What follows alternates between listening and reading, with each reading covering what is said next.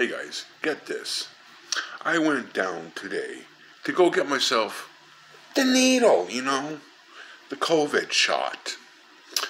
I get there on time, and it's like, got my health card, get in line, nine o'clock appointment, you know, nine o'clock appointment.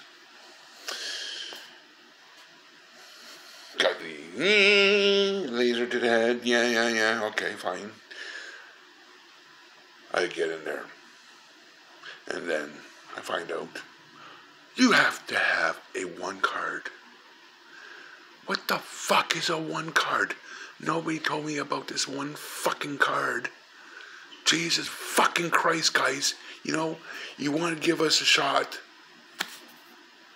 How about you getting your shit together?